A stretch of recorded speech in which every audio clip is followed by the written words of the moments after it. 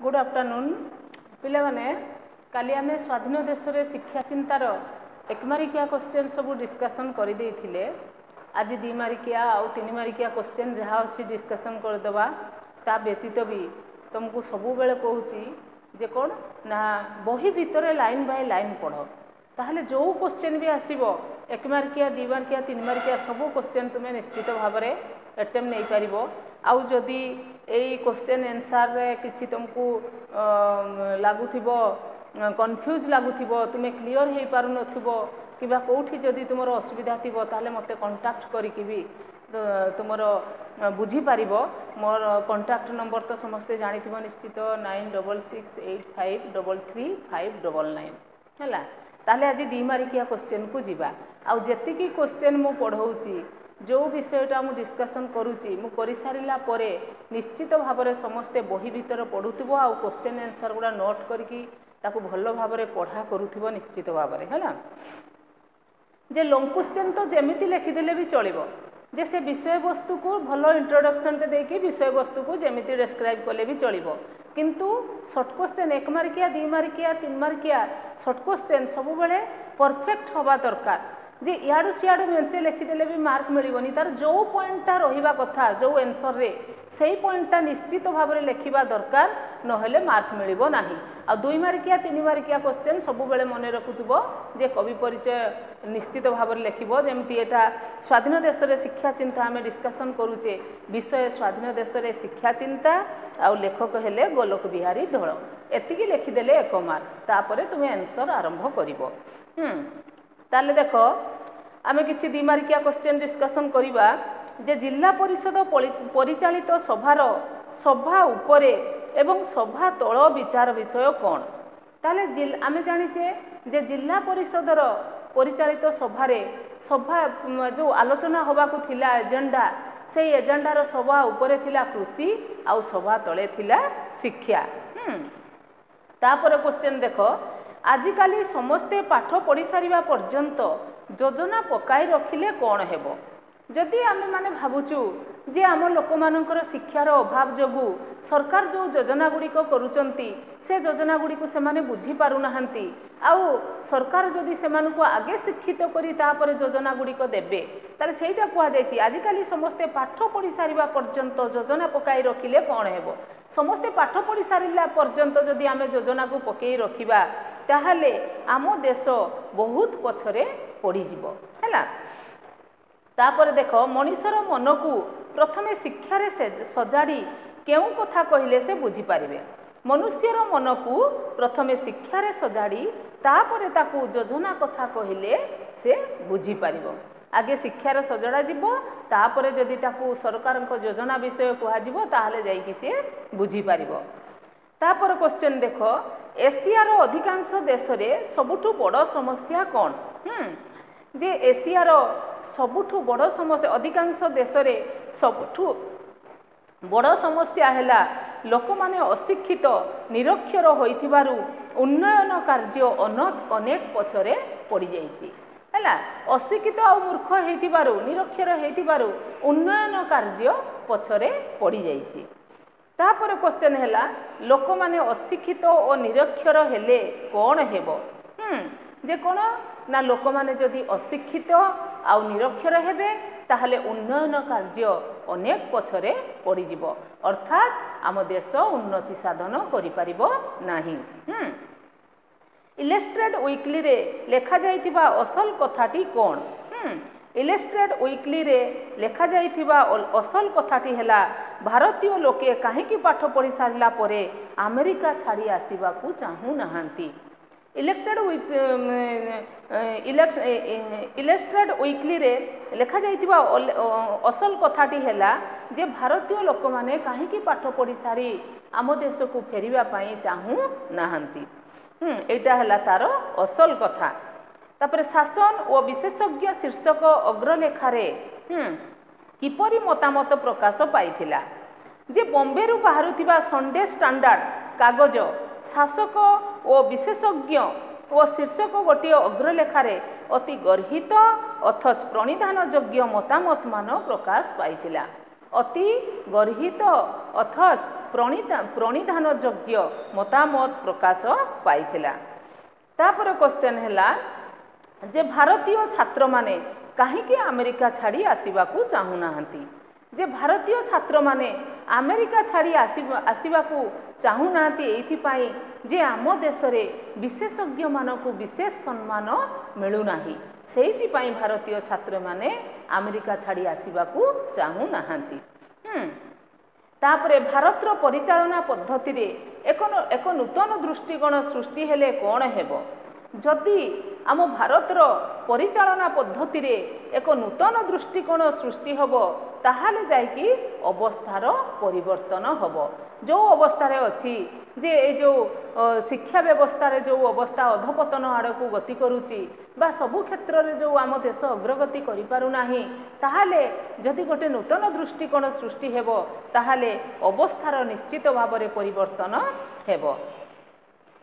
ଶିକ୍ଷା ରାଜ୍ୟରେ ଦେଖାଯାଉଥିବା ନିରୁପାୟ ଅବସ୍ଥା କେଉଁମାନେ ଜାଣୁଛନ୍ତି ହେଁ ଯେ ଶିକ୍ଷା ରାଜ୍ୟରେ ଦେଖାଯାଉଥିବା ନିରୁପାୟ ଅବସ୍ଥା ଯେଉଁମାନେ ଶିକ୍ଷା କଥା ଜାଣୁଛନ୍ତି ସେଇମାନେ ହିଁ ଜାଣିପାରୁଛନ୍ତି ଯେଉଁମାନେ ଶିକ୍ଷା କଥା ବୁଝୁଛନ୍ତି ଯେଉଁମାନେ ଶିକ୍ଷା କଥା ଜାଣୁଛନ୍ତି ସେଇମାନେ ହିଁ ଶିକ୍ଷା ରାଜ୍ୟରେ ଦେଖାଯାଉଥିବା ଏକ ନିରୁପା ନିରୁପାୟ ଅବସ୍ଥାକୁ ଜାଣିପାରୁଛନ୍ତି ବର୍ତ୍ତମାନ କେଉଁ ବିଷୟରେ ସମାଧାନ କରିବାର କୌଣସି ଉପାୟ ଥିଲା ପରି ମନେ ହେଉନି।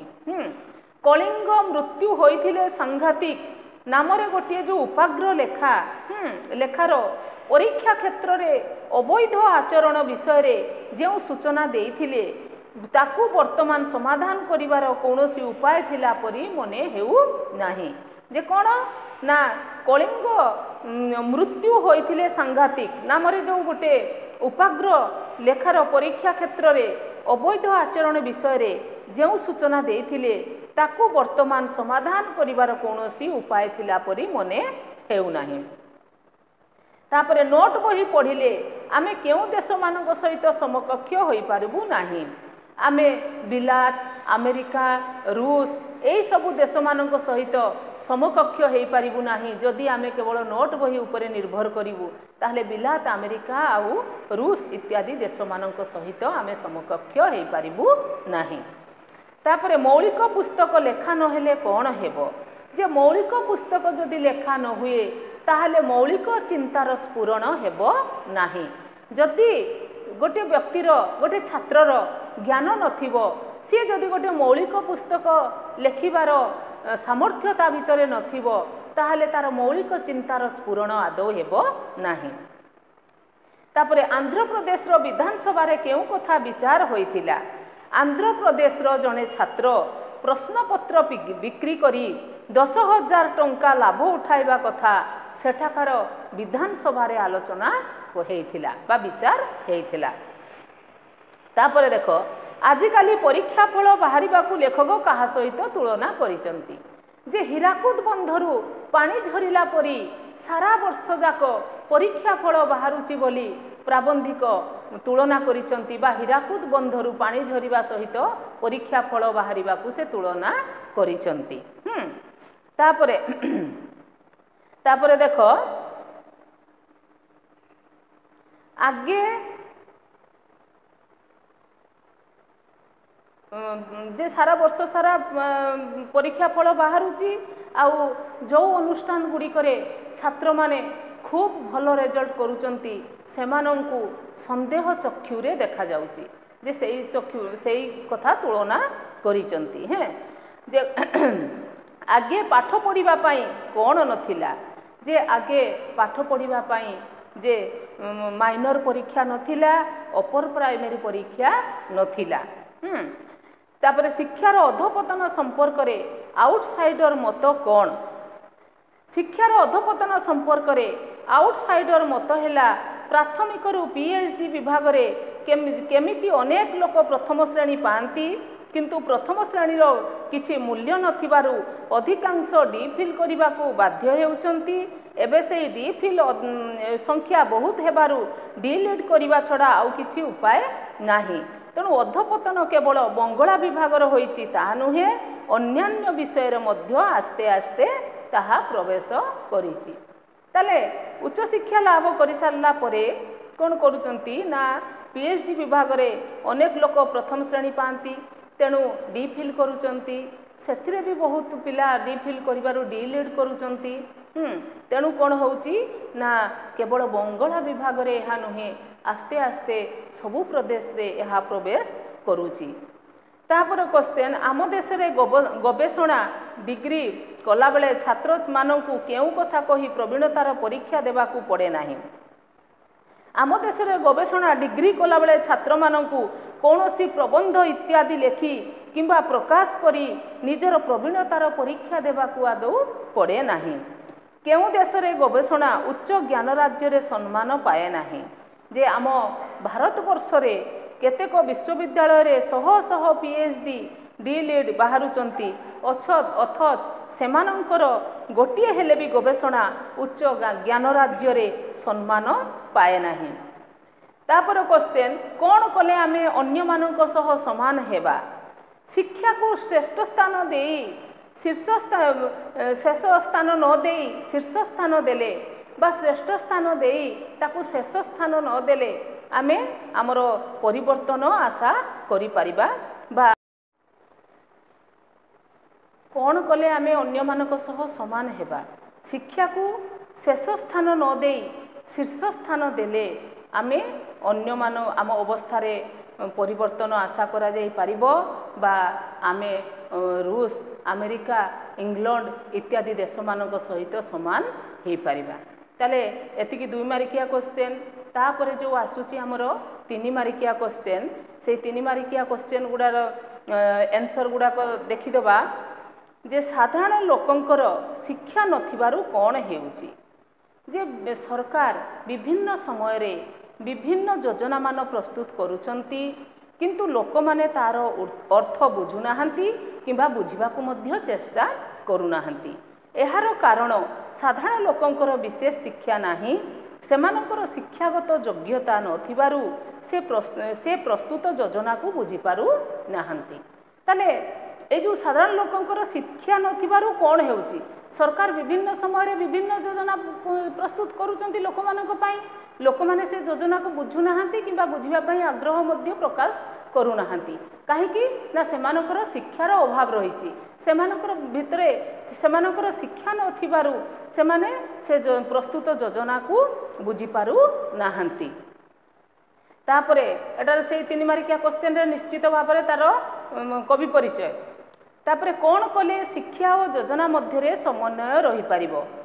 ଯେ ଯୋଜନା ଗୁଡ଼ିକୁ ସରକାର ଯେତିକି ଆଗ୍ରହରେ ଯେ ଯୋଜନା ଗୁଡ଼ିକ କରୁଛନ୍ତି ପ୍ରସ୍ତୁତ କରୁଛନ୍ତି ଶିକ୍ଷାକୁ ତାଠାରୁ ଅନେକ ଗୁଣ ଅଧିକ ଆଗ୍ରହରେ ଶିକ୍ଷାକୁ ଯଦି ବିସ୍ତାର କରିବା ପାଇଁ ବା ଶିକ୍ଷାର ପ୍ରସାର କରିବା ପାଇଁ ଯଦି ଚେଷ୍ଟା କରାଯିବ ତାହେଲେ ଯୋଜନା ଆଉ ସମନ୍ୱୟ ଯୋଜନା ଆଉ ଶିକ୍ଷା ମଧ୍ୟରେ ସମନ୍ୱୟ ରହିପାରିବ ଯେ ଯେତିକି ଆଗ୍ରହରେ ଯୋଜନା ଗୁଡ଼ାକୁ କରାଯିବ ତାଠାରୁ ଅଧିକ ଆଗ୍ରହରେ ଶିକ୍ଷାକୁ ମଧ୍ୟ କରାଯିବ। ତାହେଲେ ଯାଇକି ଶିକ୍ଷା ଆଉ ଯୋଜନା ଭିତରେ ସମନ୍ୱୟ ରହିପାରିବ। ଇଲେଷ୍ଟ୍ରେଡ୍ ୱିକ୍ଲିରେ ବାହାରିଥିବା ଲେଖାଟି କ'ଣ?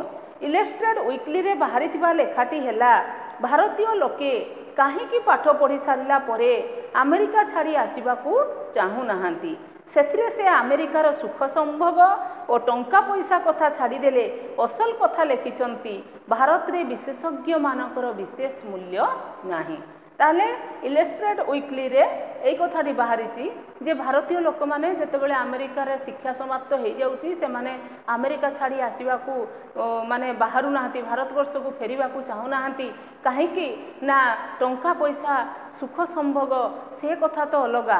କିନ୍ତୁ ଭାରତରେ ବିଶେଷଜ୍ଞମାନଙ୍କର ବିଶେଷ ମୂଲ୍ୟ ନାହିଁ। ତାପରେ ଭାରତ ସରକାର ଆମେରିକାରେ ଥିବା ଛାତ୍ର ପାଖକୁ କ'ଣ ଚିଠି ଲେଖିଥିଲେ? ଭାରତ ସରକାର ଆମେରିକାର ଥିବା ଜଣେ ଛାତ୍ରକୁ ଲେଖିଥିଲେ ଯେ ଭାରତ ସରକାର ତ ଆମେରିକା ସରକାର ପରି ଧନୀ ନୁହନ୍ତି। ତେଣୁ ସେ ଅନ୍ତତଃ ନିଜ ଦେଶର ସେବା କରିବା ପାଇଁ ନିଜ ଦେଶକୁ ଫେରି ଆସନ୍ତୁ। ଭାରତ ସରକାର ତ ଆମେରିକା ଦେଶର ସରକାର ଭଳି ଧନୀ ନୁହନ୍ତି। ତେଣୁ ଅନ୍ତତଃ ନିଜ ଦେଶର ସେବା କରିବା ପାଇଁ ସେ ନିଜ ଦେଶକୁ ଫେରି ଆସନ୍ତୁ ବୋଲି ଭାରତ ସରକାର ଜଣେ ଛାତ୍ର ଆମେରିକାରେ ରହି ପାଠ ପଢ଼ୁଥିବା ଜଣେ ଛାତ୍ର ପାଖକୁ ଚିଠି ଲେଖିଥିଲେ। ଭାରତବର୍ଷରେ ବିଶେଷଜ୍ଞମାନଙ୍କର କୌଣସି କଥା କରିବା ପାଇଁ କାହିଁକି ବ୍ୟକ୍ତିଗତ ଉତ୍ସାହ କିମ୍ବା ସ୍ପୃହା ନାହିଁ?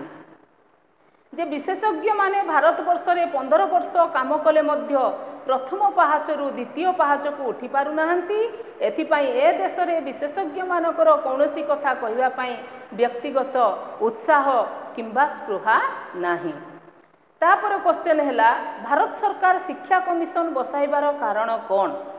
ଶିକ୍ଷାର ପ୍ରସାର ବାହାରକୁ ଯେତେ ଦେଖାଯାଉଥିଲେ ମଧ୍ୟ ଯେଉଁମାନେ ଶିକ୍ଷା କଥା ଜାଣୁଛନ୍ତି ସେମାନେ ନିଶ୍ଚୟ ଅନୁଭବ କରୁଥିବେ ଯେ ଶିକ୍ଷା ରାଜ୍ୟରେ ଏକ ନିରୁପାୟ ଅବସ୍ଥା ଆସି ପହଞ୍ଚିଲାଣି।